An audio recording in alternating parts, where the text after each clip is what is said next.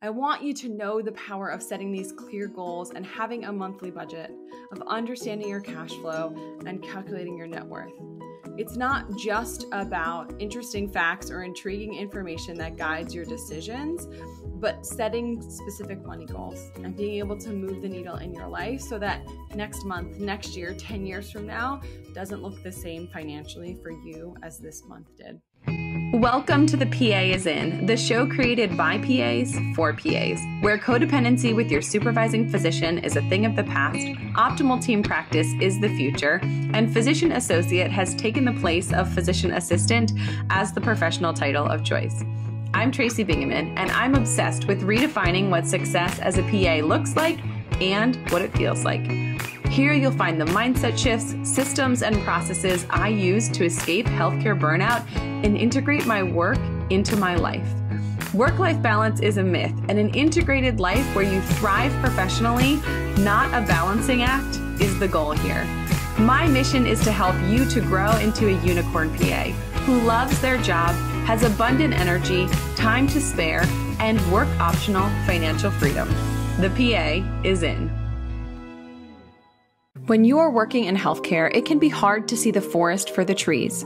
Are you burned out, or is this a normal reaction to the stress that you experience on a regular basis? Is this a problem? Or just a rough patch.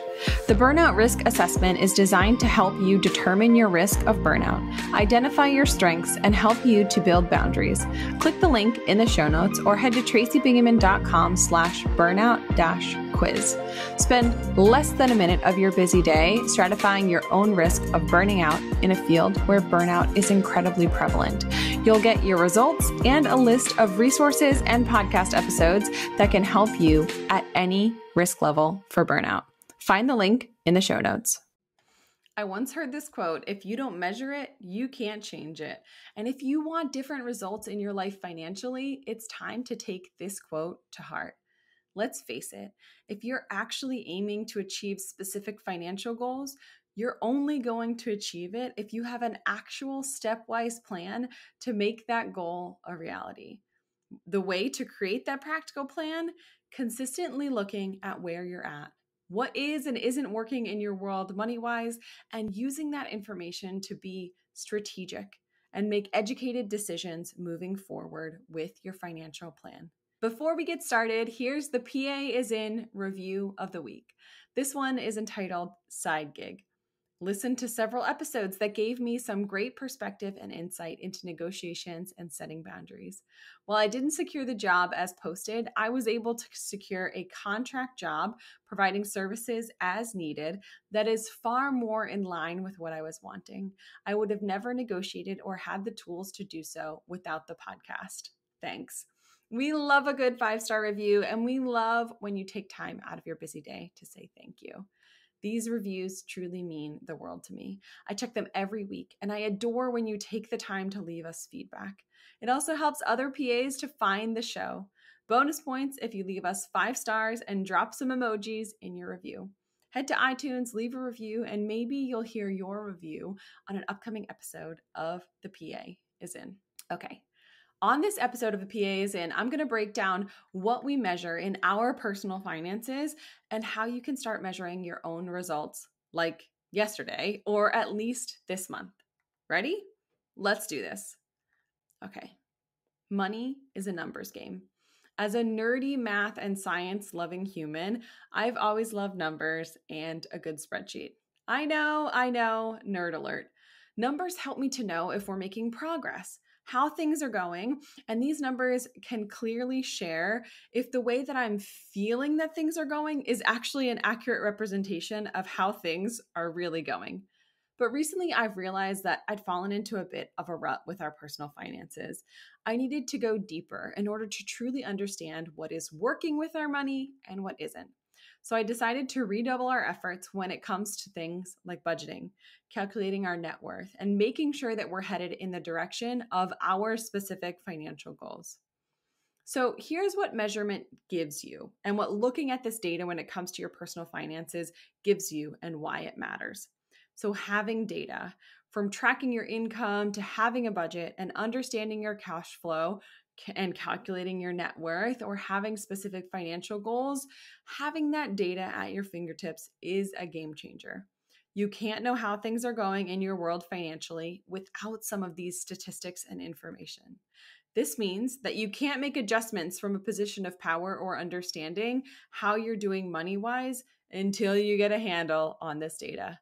Nailing down your monthly budget and understanding your household cash flow means that you can make informed decisions based on real data rather than guessing or relying on a gut feeling. But the real power of nailing down this data and measuring where your money is coming from and where it is going is the insights that it provides. This data will give you clarity on what's working and what isn't. This will help you to focus your time, energy, and resources on the strategies that are really going to move the needle and improve your financial health. It will help you to see trends and patterns and make adjustments to your spending, saving, and investing. It allows you to focus on what your values and priorities are and drive you towards your money goals. First up, monthly budget. I started by making sure our monthly budgets were accurate and up to date. This year, the way that I've been paid from clinical PA work has changed. When I went from full time to part time, my salary adjusted down. My base salary came down to reflect that reduction in hours, and my incentive bonus increased which resulted in a lower regular take home pay at the beginning of the year and a more irregular income later on in the year once I hit that bonus number and it started coming home. We budget each month before the month begins and we use something called a zero based budget. This means that our income goes at the top. Dan's income, my income from work, my business income, any bonus or incentive that I'm getting, all of that goes at the top of the budget. And then our expenses are listed going down the page. These expenses are things that come out of our take home pay. So before our money even comes home, we fund our 401k or 403b at work. And our expenses include things like saving. So, categories like college savings, non retirement investing for building wealth that is not restricted by retirement rules, funding our Roth IRA for investing outside of work, and things like saving for upgrades in our cars, furniture, or even improvements around our home. These expenses also include things like gas and groceries and clothing and Christmas. Anything that we want to save up for throughout the year or that we're spending on a monthly basis goes into the budget. And when you get to the bottom, it's a zero based budget because your income minus everything that's budgeted equals zero. Now, this does not mean that we're spending all of the money that we're bringing home as in fact as far as our budget um, income goes at the top and then we do saving and investing and then we do necessary expenses and then we do elective expenses. So as you go down the page of our budget things become less and less of a priority. So especially at the beginning of this year when i hadn't met, met my incentive bonus and my take home income was less there were some things towards the bottom of that list that we didn't have enough money to get to because we saved first and then some of this elective spending towards the bottom will make those categories smaller to reflect what's coming home income wise. Next up, cash flow. Cash flow is a monthly measure of what's coming into your household and what's going out. So money in minus money out equals cash flow. Positive cash flow means that you have more money at the end of the month, the ability to save, enjoy, and have money margin in your life. Negative cash flow means that you have more expenses, both fixed and variable, than the money that you have coming into your household. If your cash flow is in the red, if you are negative cash flow, if your expenses for living and saving and all of those things are above what's coming in every month, that is something that you have to full stop address. There's two ways that you can make that better. Number one, have more money coming in pick up extra shifts, work more, sell things, bring more money in so that you end up with a net even or even a net positive cash flow. Or decrease your expenses. What are things that you're spending money on this month that you don't necessarily need to be or that you could be spending less on? So, if that cash flow number is not what you want it to be, you're going to head back to that budget and make some editing and say, what things can we adjust to make it so that we end up with a even or positive cash flow. The next piece of data you want to evaluate when you're assessing your financial health is to calculate your net worth. To keep it simple, your net worth is the difference between what you own and what you owe. So, all of your assets, everything that you own, have in savings, investments, the value of your home, minus all of your liabilities. Any loans, mortgages, car payments, anything that you owe anyone equals your net worth. Now, if you look at that number and you're not happy with it, there's two ways that you can increase your net worth. Number one, increase your assets, save and invest more, end up with more money, more assets in that asset pile. And the second way is to decrease your liabilities, to pay off debts, decrease the amount of money that you owe others. Struggling with what to purchase for the person on your list that seems to have everything? Check out Luna and Grace. When you shop here, you're working directly with PA owner and creator Erica, who is with you on the personalization journey from start to finish. I had her make customized Rosie the Riveter meets masked clinician tumblers for my PA and NP colleagues during COVID. Not only are they personalized right down to their names and hair colors, they're durable and super high quality. So much so that I got one for myself. Shop Luna and Grace because everyone deserves to have something special that was made just for them. It will not come as a surprise to you that when I tell you that having specific money goals is a key piece of the data in your personal finance evaluation. This is a step that people skip a lot. It's because it takes time and energy and intentionality to set these goals. All the studies tell us that when people set specific, time bound, measurable goals, they're more likely to reach success. It's incredibly beneficial and powerful to have set money goals that you talk about and write down and clearly communicate to your partner or your accountability partner. The best goals, honestly, money or otherwise, are clear and specific. They have dollar amounts and deadlines. Now, there are several categories of money goals that are a vital part of a healthy financial future, and that is short term goals, long term goals, and far long term goals. So, let's tackle short term money goals first.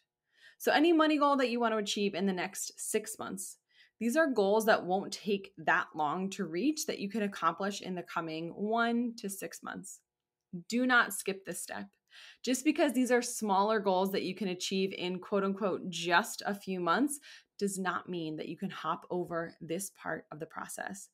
These short term goals could include items like saving, creating an emergency fund, debt payoff goals, and even personal or behavior goals that pertain to your mindset or your spending habits. Remember these specifics um, that you want these goals to be specific and have a deadline. Like, I want to add $15,000 to my emergency fund by March 1st. So, short term goals make it pretty easy to break things down into steps. So, if you're looking at $15,000 over three months, that means $5,000 a month, or $1,500 over three months means $500 a month. Then you take that piece of information and you look at your budget and you say, is that feasible? Does it fit in with your budget or lifestyle? Does your budget or lifestyle need to be adjusted in order for you to meet that money goal? Next up, long term money goals. Long term money goals are those things that you want to accomplish in the coming years. These should be things that you're aiming to achieve in the next one to 10 years. You can use the same formula to calculate how those long term money goals fit into your lifestyle and budget, just like you did for short term money goals. These longer term goals might tempt you to be scant on the details because it feels like it's so far away, but don't do that. These long term money goals also need specific details, numbers, and deadlines, also.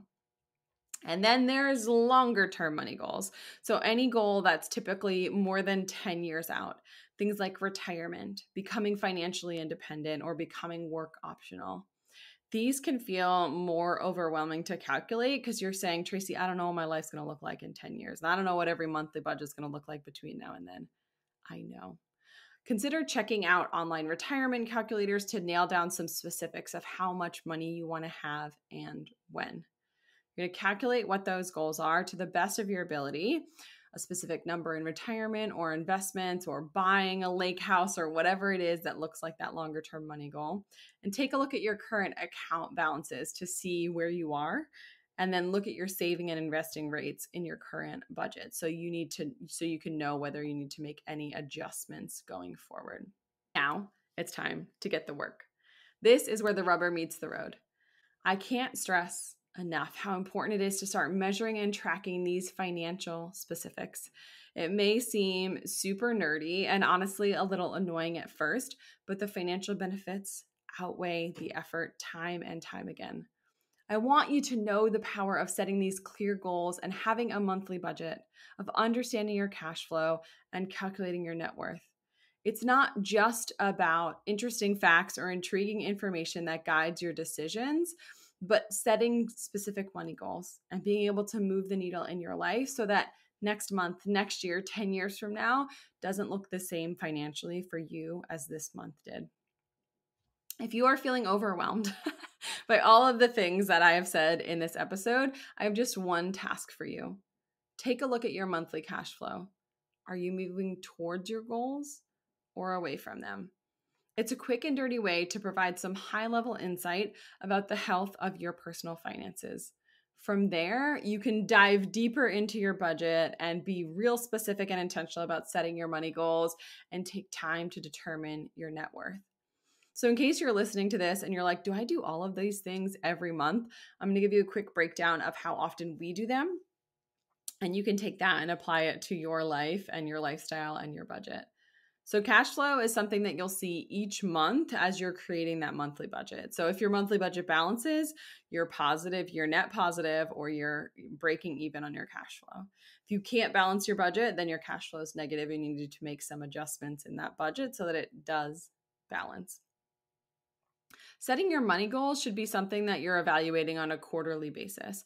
So every three months, did you meet those short term money goals? Are you on your way to that short term money goal? What are your midterm? What are your longer term money goals? And net worth is something that we calculate, I would say probably every six months or so, where we're checking in on everything from retirement, non retirement savings, and investments, and just saying, hey, what's the value of our home? What's the value of our assets? What are we doing? You know, kind of where are we net worth wise? Are we growing over time? Are things moving in the right direction here? I hope that this episode has inspired you to dive a little deeper into this world of data and how your behavior and the things that you're doing on a daily and weekly and monthly basis are impacting your financial health. It's such a powerful tool that can transform your life and help you to achieve your money goals. So let's embrace the power of data and start moving towards financial independence. Thank you, as always, for tuning in to another episode of The PA is In. If you felt like this episode was helpful, I would love it if you would head to iTunes, leave us a review, five stars, and a little blurb about what you like or love about the show. That's all for today. This PA is out. Congratulations, you've just joined an awesome club. By listening to a full episode of The PA is In, you are officially on the Unicorn PA team. Welcome aboard. What most team members do is they subscribe to the podcast because that allows them to automatically get the latest episode of the show. The life of your dreams exists on the other side of taking action. Keep making small shifts and keep getting better. Your life will improve, your career will soar, and you will have the confidence you need to create your own success. I will see you in the next episode. This PA is out.